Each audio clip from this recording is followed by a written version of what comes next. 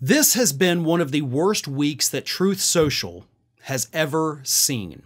And of course, by Truth Social, I really mean the Trump Media and Technology Group, but considering the fact that that fancy name only has Truth Social that's operational, they're basically interchangeable.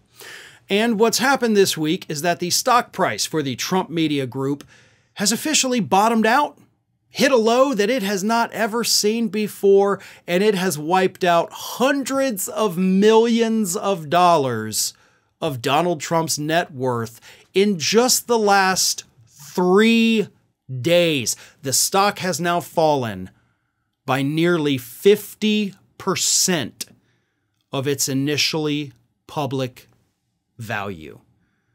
That is absolutely remarkable to happen in just two short months, right? That's insane. Like, that doesn't ever happen. But this company is so messed up, is so just hemorrhaging money so badly. And of course, the guy with the majority of the shares, 65% of the shares, Donald uh, shares, Donald Trump, uh, is a convicted felon. All of that combined is what is tanking this company right now. Specifically, a lot of investors are kind of worried about the fact that, yeah, Donald Trump now has felony convictions. He could end up in prison. And if he does go to prison, even though the chances of that are slim to none, but if he does, because it is a possibility still, they're probably not going to let him use Truth Social. and if Trump's not on Truth Social, then it has no value at all. And of course, as I mentioned, they're also looking at the financial reports that show that it's losing tens of millions of dollars per month while raking in only a few hundred thousand dollars per month. So it is hemorrhaging money. Not to mention the fact, of course, that the company that they had as their auditors recently got shut down by the feds because it was such a just horribly incorrect, invalid, bad advice company that they couldn't be trusted anymore, so they don't exist anymore. They then, Truth Social did, had to go out and find a new auditor that filed new financial reports that show that the company's financial situation is actually much worse than even the other guys had said.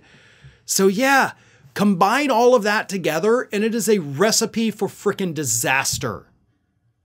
And that's what investors are left with. That's why people are just getting rid of this stock as quickly as they can. And anytime that happens, it's going to drive the price way down.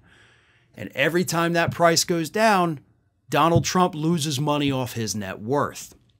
And I say net worth, not that he's losing money, but losing money off his net worth, because technically, right now, all Donald Trump has are shares of the company. He doesn't have actual cash with it.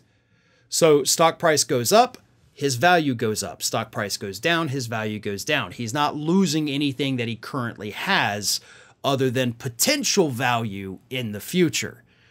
But he still has many months to go before he's even allowed to sell any of the stock. And based on the way things are going now, it may be less than worthless by the time he can finally offload any of it.